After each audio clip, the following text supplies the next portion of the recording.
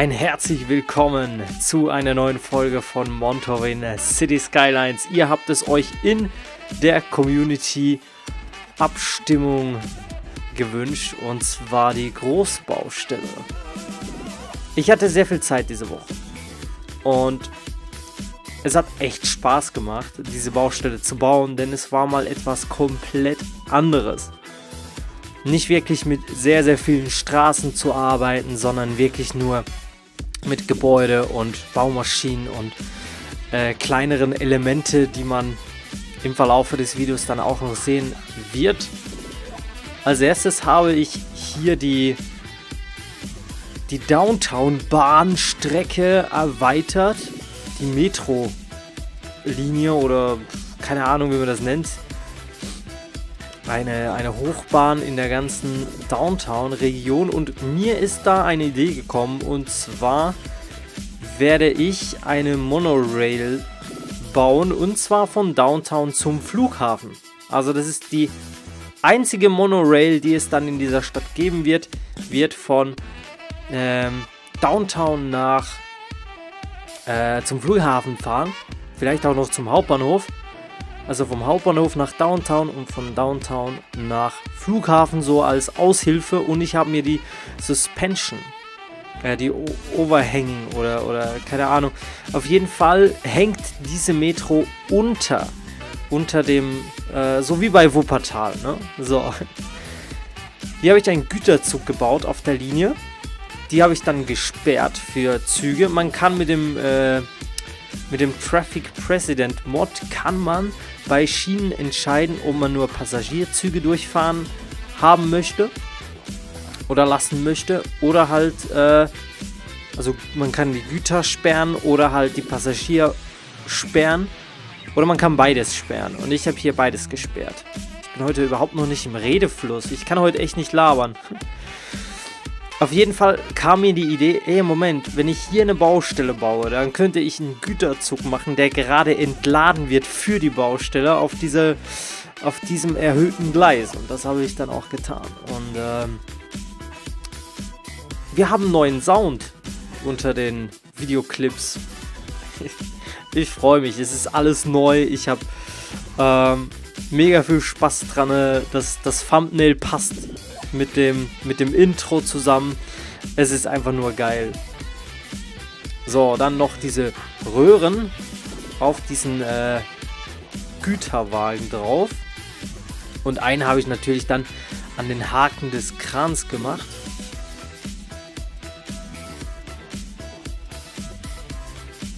Da sieht man's. Mir sind wieder so viele Dinge durch den Kopf gegangen, Ideen etc. Und es ist mir, die, die Stadt wächst mir quasi pro Bauprojekt, pro abgeschlossenes Bauprojekt immer mehr ans Herz, weil ich habe so Spaß an der Baustelle, wie die jetzt aussieht im, am Ende und wie die sich in, in die Stadt einfügt und wenn dann noch mehr außenrum ist, dann fügt sich das noch mehr ein. Und wenn dann die, der europäische Teil, an dem wir schon lange nicht mehr gearbeitet haben, und, und, und die amerikanische Downtown dann zusammenschmelzen, dann sieht es richtig cool aus. Hoffe ich natürlich. Wir machen ja eine Multikulti-Stadt. Ja, Montevin ist eine Multikulti-Stadt mit Amerika, Asien, alles zusammen. Und ich habe gesehen, es gibt Cyberpunk äh, Assets im Steam Workshop und wir werden vielleicht noch einen Teil äh, von Cyberpunk mit reinbringen. Ich habe da auf jeden Fall schon so einen Zeppelin geholt, der aussieht wie so ein Cyberpunk-Schiff äh, mit Werbung drauf und ich hoffe, ich habe das noch nicht nachgeguckt. Ich werde das direkt nach diesem Video machen, weil ich bin echt mega, es wundert mich halt mega, ob diese Werbung dann auf diesem, äh, auf diesem Luftschiff dann sich bewegen und so. Also das ist Oh, es, es, ist so cool, wieder zurück zu sein, sind die Skylines. Ich weiß, es gucken mir nicht mehr so viele Leute zu wie früher, was ich eigentlich schade finde. Ich habe mir letztens mal wieder ein City Skylines Video angeguckt von mir äh, mit 9000 Aufrufen und, und den Kommentaren und die Leute, die immer dabei waren bei City Skylines Livestreams etc. Es ist schade, dass die nicht mehr da sind, aber da bin ich natürlich selber schuld, weil ich habe echt lange, lange eine Pause gemacht und ich bin ja so ein Kanal, ich mache immer mal wieder eine lange Pause.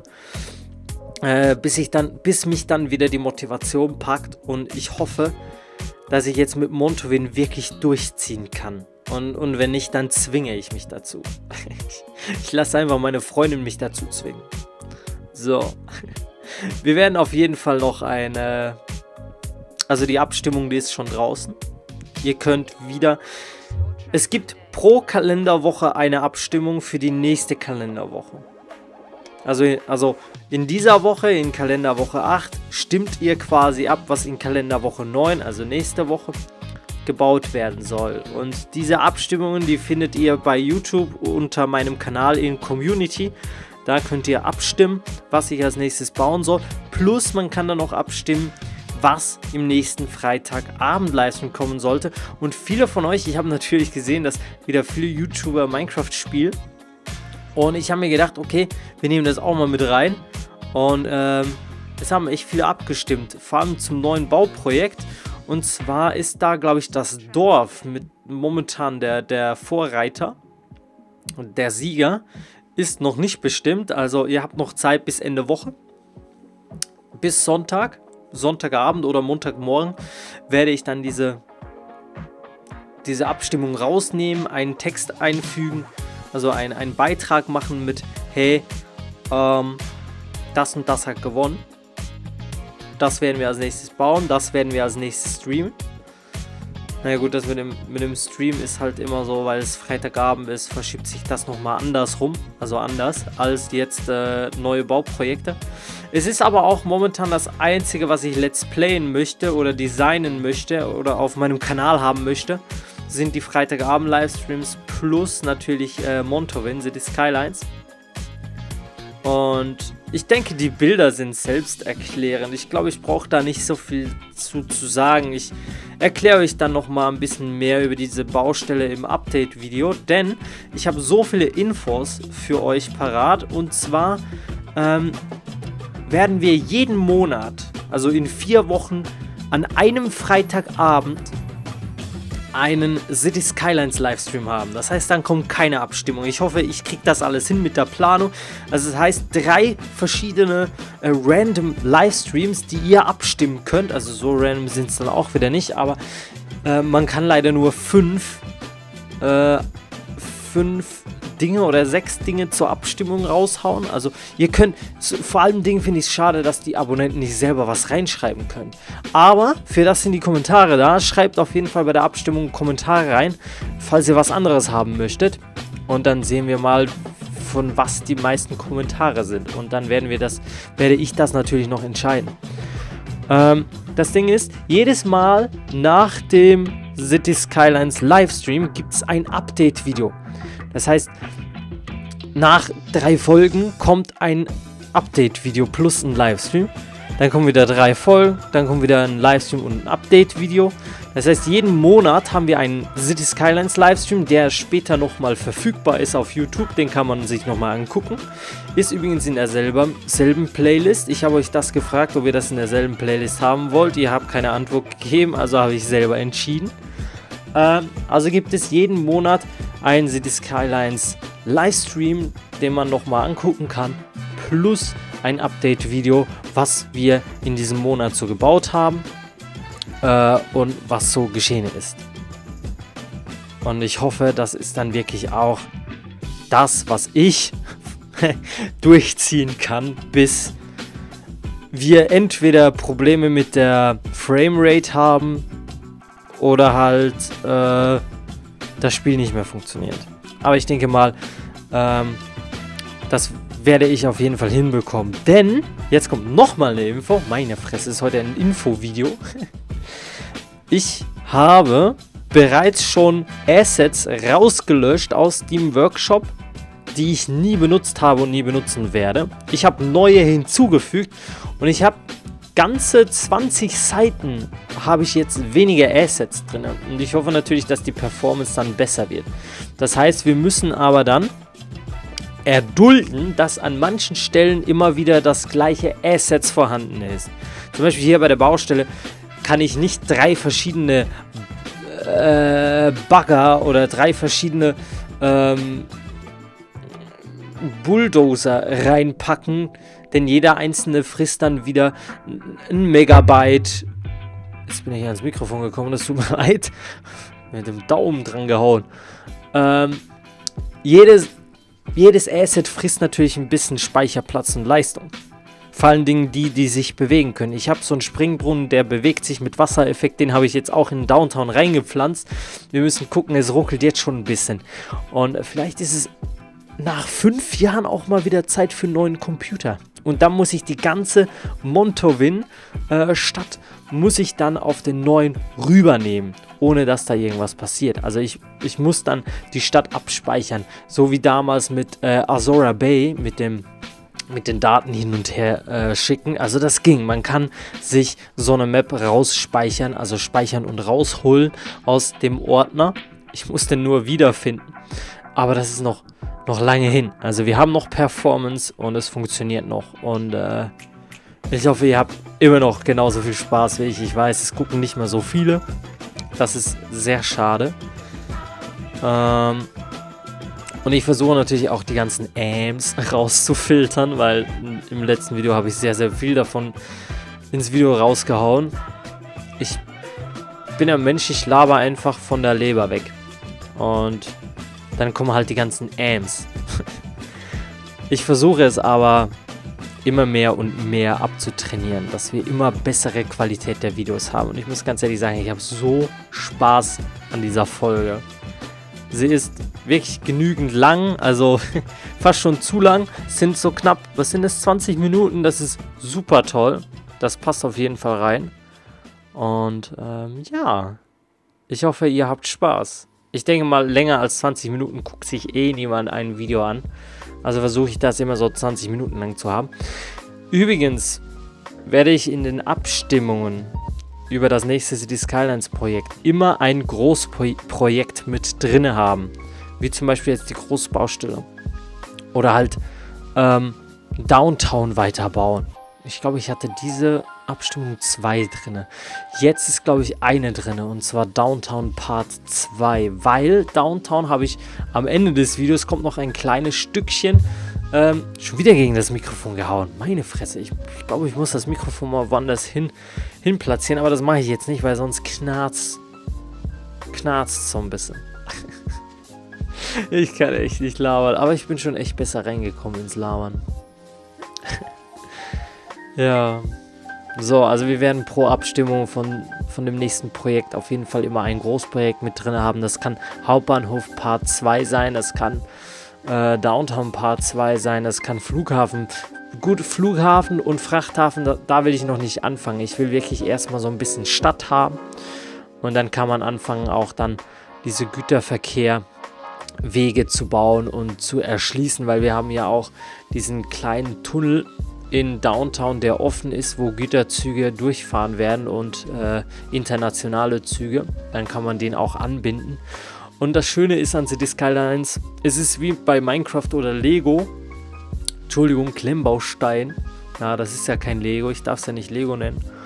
Ähm, kleiner Sidekick. Ähm, ja, es ist wie bei, bei Klemmbaustein oder Minecraft, dass man alles wieder ändern kann. Wenn, wenn einem eine Bahnlinie nicht gefällt oder ein Gebäude, dann machst du weg, machst was Neues hin. Es ist immer in Bewegung, es ist sehr dynamisch, dieses Spiel, und das macht so Spaß an diesem Spiel. Und vor allem auch die ganzen Leute, die auf Steam Workshop etwas hochladen. Und das ist echt, ich bin echt dankbar für den ganzen Steam Workshop äh, Supporters und ähm, I love it. I love it.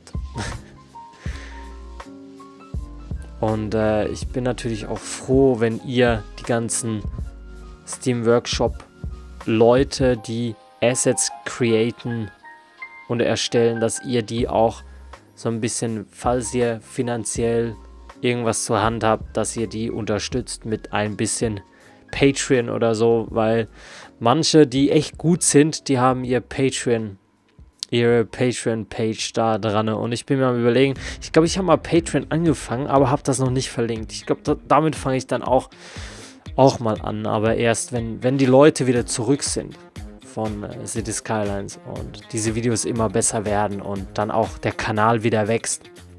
Ähm, Was sich verändert hat, ist, dass sehr, sehr viele Nicht-Abonnenten früher die Videos geguckt haben und mittlerweile sehr, sehr viel Abonnenten meine Videos gucken. Es ist so 50-50. 50%, der Leute haben noch nicht abonniert, die meine Videos gucken. 50% haben abonniert. Also wenn ihr nichts mehr verpassen wollt, dann abonniert auf jeden Fall und ähm, ja, profitiert irgendwann mal von der Kanalmitgliedschaft etc. Da hatte ich ja mal was Lego-mäßiges drin ist. Und für alle Lego-Fans oder Klemmbausteine-Fans,